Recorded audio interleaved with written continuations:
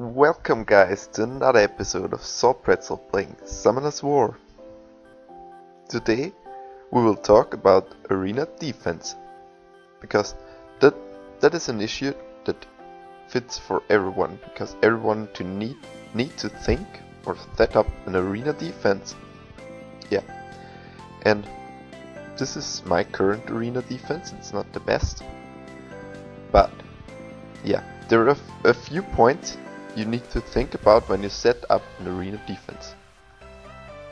There are different different combinations you can run and there is one really important thing you need to think about which is anti-illusion. Everyone who has illusion tend to fight those what they can illusion. If they have two illusions and a thick they can illusion nearly every arena defense which has no fire monsters. That's why I put the Arnold in my arena defense. Yeah. And what else can you put? You can put in nearly every fire monster which is a little tanky like Chloe or Arnold or a Rakan who has a Rakan and yeah things like like Veromos won't even help even though you have 30k, if they're two good Lushens, they probably deal 6 times 7k with their third skill, which is 42k. So probably everyone is dead except your fire monsters. And if they see you have an Arnold, they probably won't Lushen you. Yeah. What else can you think about? Yeah, when you set up an arena defense and you thought about anti-Lushen, yeah, you can also use anti-crit like cases because when they can't crit you they probably won't kill you in the first turn and then they maybe lose. Yeah, but except anti-illusion what else do you have to think about? You can run either a sustain team like mine is at the moment. You could run a speed team so you can get two or three turns while the enemy has no turn and then you kill them then you can run an armor break burst team with it is written in white because it's most of the time with a Darion or a Bella or you could run a double reviver comp. Double reviver comp are most of the times really strong if you have enough sustain on them and it works best with something like Vanessa because then you're really fast as well with a leader skill or you can also use something like Bryant and Eladriel. I wouldn't recommend to run a double reviver comp with a reviver like the Mikene. I guess it's called, she's called Mikene, the, the Water Undyne. Yeah, and also not with the with the wind. The wind. Oh my god, the Wind Chloe, what's her, the Wind Epic and Priest, Michelle, yeah, with Michelle, because their re revives aren't that strong. The strongest revive would be from Iona, I guess. She revives you with 60% of your HP and the 3 turn armor buff. Yeah. But now, let's think about those defenses. The sustain defense. A sustain defense like mine it is it is mostly just to just to gain time and fight. Enemies probably won't hit you when they see they have to fight for like two or three minutes to win. And that's what I what I want them to think. So if they see my defense, they say, oh my god, until I have killed that, I could have killed another three defenses with weak monsters. Or with not not weaker with squishy monsters, let's say like that. Yeah, and so less guys hit me. Yeah, for, for sustained defenses, I normally you can normally use things like Arman, like the Bryant, like Darions, and what I have in my defense, and also something like Acasis and Especially every tank and healer you can use in a sustained defense. And I really, really recommend to use a Veromos in a sustained defense so they can't put the healing debuff on you, so you can always heal up again. Like Jasun can do anyway with her fourth skill, but it is good to have Veromos anyway. Yep. The next is speed, a speed comp. In a speed comp you really need a speed buffer and a speed leader, like a Tyron or where is he? Like the Shimity and even better would be a Vanessa. Vanessa would be the best speed leader with I guess 33% speed in arena. There is also possible the Chimire or a Beretta. Yeah, those are the speed leaders. And you really need a speed buffer, which could be something like the the light harpy or the most common one is Bryant. I had a Bryant for short duration, but then I thought I don't like this kind of playstyle and I fed my Bryant. Yeah, and you normally you also use some kind of stunts or crowd control with speed teams. For example, like like Tyron or Aria. A lot of guys use Aria in speed teams.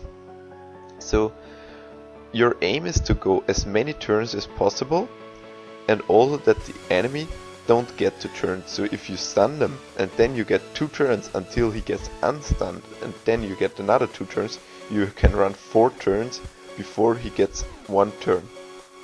But those teams are normally easily countered with a Chloe with high speed, so if you can run Fnatic on the first turn, the speed teams are most of the time useless because they just hit two or three turns into your shield and then you can kill them because most of the times they're pretty squishy. Yeah, the third thing, armor break and burst. For armor break and burst you need either a Darion or Jubelle, which is the, the dark Darion, the dark, wait, what is it called? Um, Vagabond, the dark Vagabond, yeah, or a Bella. Right at the moment I'm building myself a Bella because I think in in TOA a Bella is stronger than a Darion. Yeah. And what else is there with armor break? I guess those are the most important armor breakers. Yeah, probably if you're lucky enough and you got a, a Monkey King, you can also use the Monkey King as armor breaker, but he's not as reliable as Darion and Bella because they have a 100% chance to armor break on the auto attack. Yeah, and for the burst, for the burst you can take any attacker like my Tyron is, is running on attack, you can use a Gene or any other Phantom Thief. Not the water, the water one is not attacker. Yeah, you can use a Raoq or whatever damage dealer you have. Probably also a Lushen. Even though I think that the Lushen defenses aren't that strong anymore. You have seen a lot of Lushen defenses earlier, or probably they are still in the low, low rank stage, but I don't know that. Yeah, and the last thing I can't show you with my monsters, the double reviver, but as it is called, you use two revivers. I have only one, which is my Bryant. And if I had a second one, I probably would use a double reviver defense because I, I personally think those are the most annoying defenses. If you run something like Veromos, double reviver, yeah, I have no second now, and a Chloe. If there would be another reviver like Iona, I guess this would be the most annoying defense. Yeah, and so now my thinking process is first I want Veromos as leader to get more HP and so I can't get those much debuffs. As next I think I want the Chloe because Chloe is always annoying in defense. And then I need something that I won't get Lushen, which is my Arnold. And I either want armor break for more kills or for more kill potential, or I want more sustain. Right at the moment I go with more sustain because I only think Darion is really good in defense when you have revenge runes. I've pulled some good, good revenge runes, but I will put them on Darion when there is the next rune removal, which will be in a few days. Yeah, so my current defense is this one. And yeah, I guess that's everything I wanted to say about arena defense.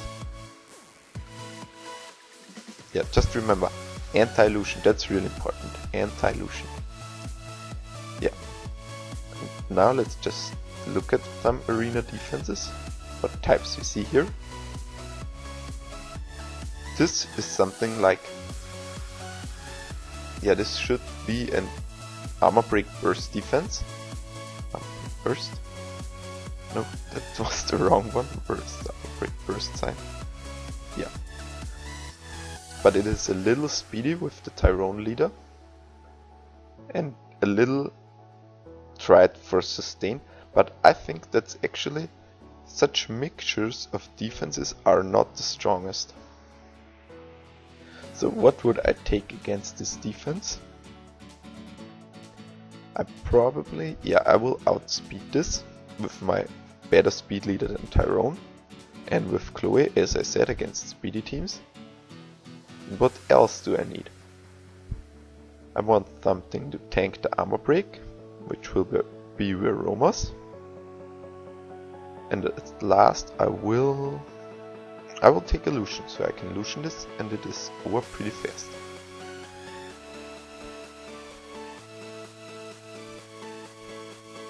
Yeah, so first the shield. Okay, they're pretty slow actually. So I can stun now and focus on Tyron first.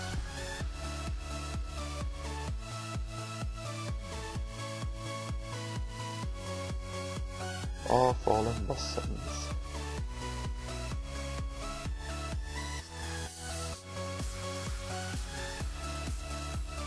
But you see, it's actually pretty easy against this defense, because it has no real strong sustain, it has no real no real speed, so they all go before I do. And actually, their Darion didn't even use his auto attack once. Yeah, I really think Darion is only good if he has revenge runes, because if you use your attacker to hit Darion, and he would revenge and put armor break on my Lushen, and then everyone of the team would hit my Lushen, this would, this would be really painful. But like this, he just hits Veromos and I don't care when he hits Veromos.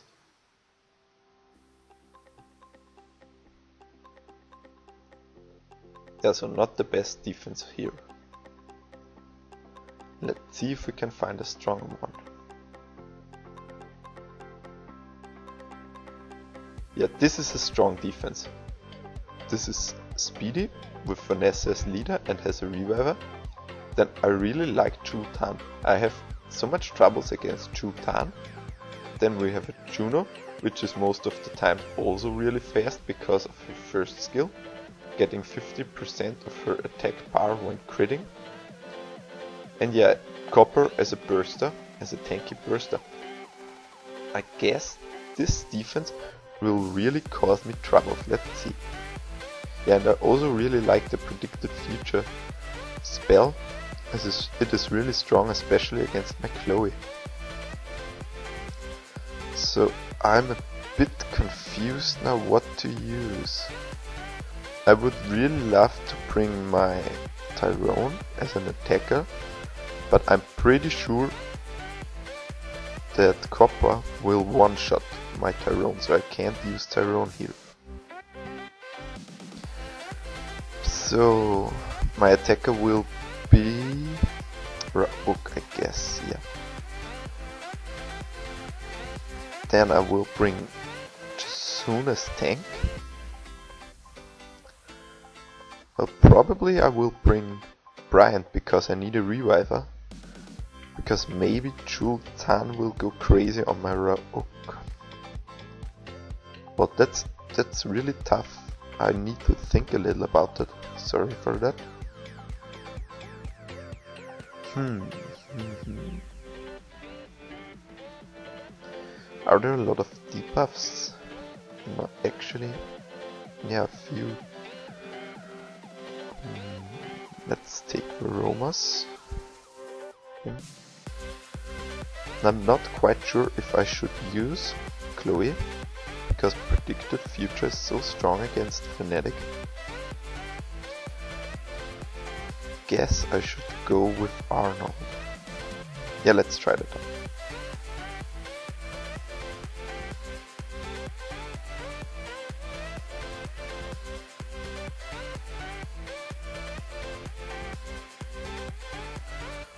And whom should we focus first? I guess it will be Vanessa.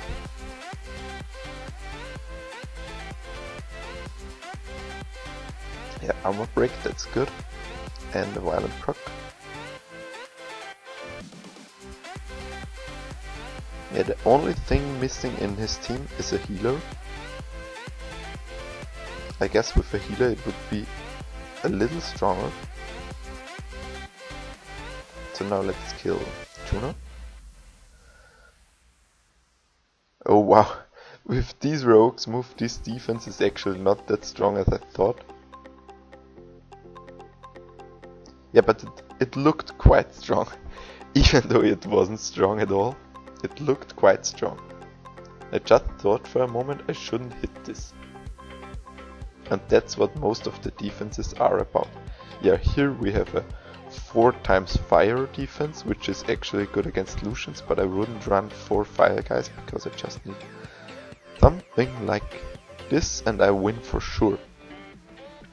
Here I have double wind tanks with armor break and a water damage dealer. You will soon see what this is good for. Especially if Chloe isn't fast enough and then Chloe doesn't shield. I can freeze them. Armor break. Okay, no armor break. Whatever. First kill broke. Seek. Yeah, no, these are really strong. Uh, really weak, sorry for that, really weak monsters. But anyway, this defense wouldn't be that strong.